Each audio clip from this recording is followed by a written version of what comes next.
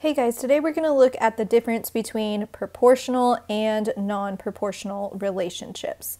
And we're going to answer the question, how do I determine if a relationship is proportional or non-proportional?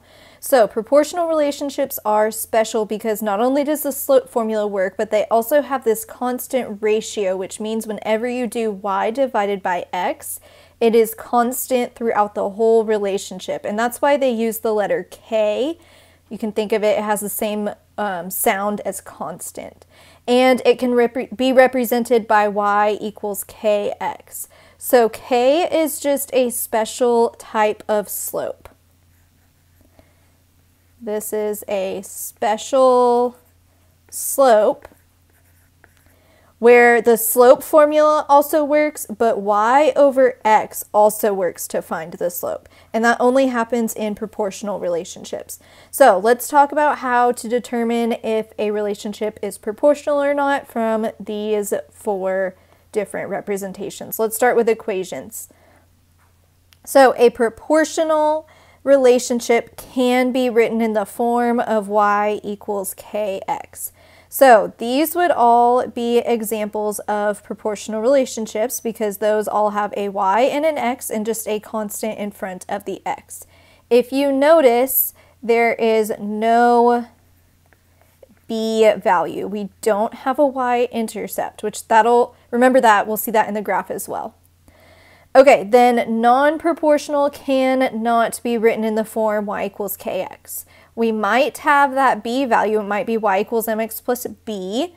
Um, it might be like this where we just don't have an x, or you might see an exponent on the x. So proportional, remember, it's going to be written in the form y equals kx.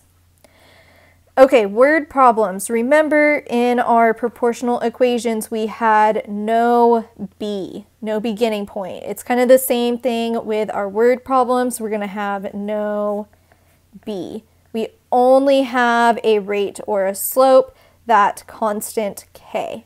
So this one says Aaron charges $12 per hour for babysitting. There's no beginning fee. They just give us the slope or the constant ratio of $12 per hour. Okay, non-proportional, we are going to have a rate and a y-intercept. We have a b value. So this one here, it says Angela charges a $50 deposit plus $30 per hour for her accounting services. So we do have a B value, that initial charge of 50, so that's why this one is non-proportional. Okay, let's look at graphs. So a proportional graph has to be two things. It has to be a line and it has to go through the origin. Remember, there is no b or b equals 0. So this would be a proportional graph because it's a line and it is going through the origin right there. Okay, non-proportional does not go through the origin like this one. Or if it's not a line, then it's not proportional either. Okay, then tables, we are looking at the constant ratio. Remember we talked about how proportional relationships have the special type of slope of y over x. So I want to see if the y over x is the same thing throughout the whole table. So y divided x here would be 3, negative 3 divided by negative 1, which equals 3.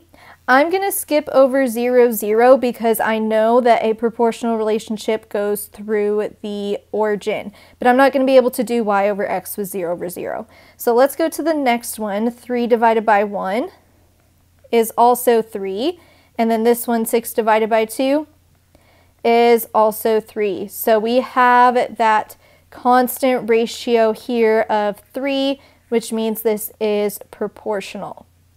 Okay, let's look at the next table. If it is non-proportional, then it does not have the constant ratio of y over x. So y divided by x here would be 4 divided by 2, which is 2. And then the next one, 6 divided by 4, simplifies to 3 over 2, which is not 2. Those do not have a constant or same ratio throughout, so that's why this one is non-proportional. All right, now we're just going to do a few examples where we determine if they are proportional or not. So this first one right here is an equation. Remember, equations have to be written in the form y equals kx, which it looks like this one is. So this one would be proportional. Because it is written in the form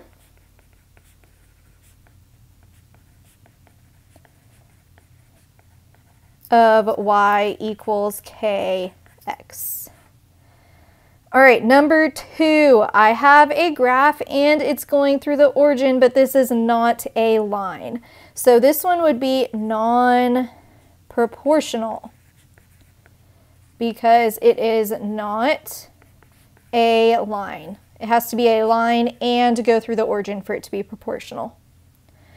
All right, number three, I have a table and y over x needs to equal y over x if it is proportional.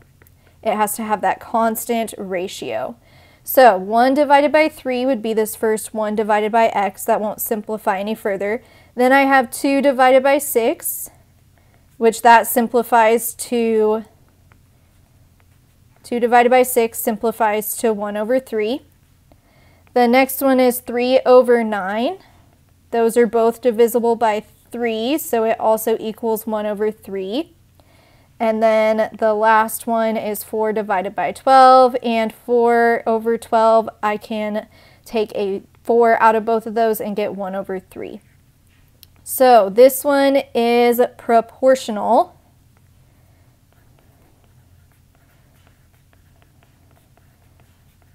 Because it has a constant y over x ratio.